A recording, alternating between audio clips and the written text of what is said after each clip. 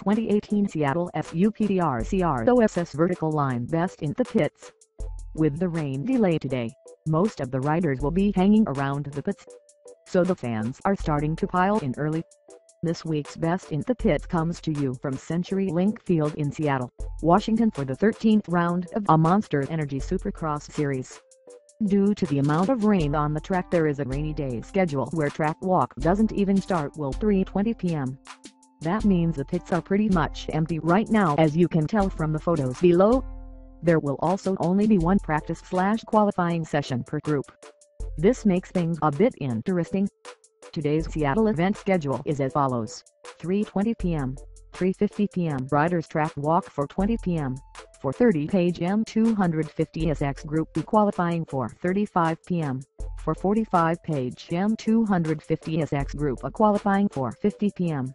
5 o'clock page M450SX Group A qualifying 5.05 p.m. 5.15 page M450SX Group B qualifying 5.15 p.m. 6.15 p.m. Track maintenance just as the first 250 heat gets on their way at 7.11 p.m. there is an 85% chance of rain. By 8 p.m. it is 95%. Till then, the forecast shows light rain until opening ceremony starts. This will more for some interesting racing. If you haven't checked out the Supercross Live virtual experience, you definitely should. Pouring rain in Seattle.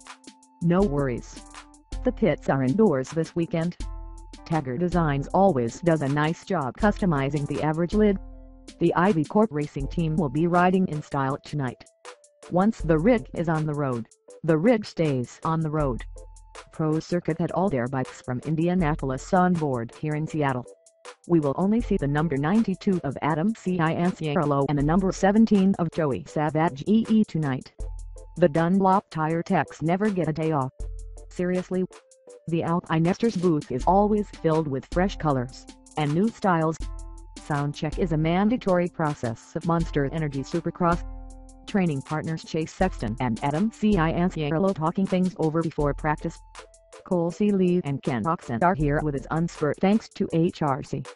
Jim Hawley pays his respects to Dunlop Dan whom unfortunately passed away a few weeks ago.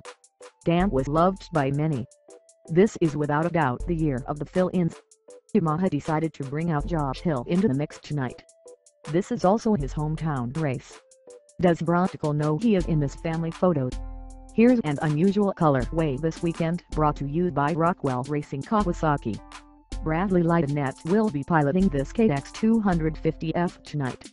And finally, it looks like the RM-80M KTM crew is ready to go. If you want to watch qualifying from Seattle, make sure you click the link the tag below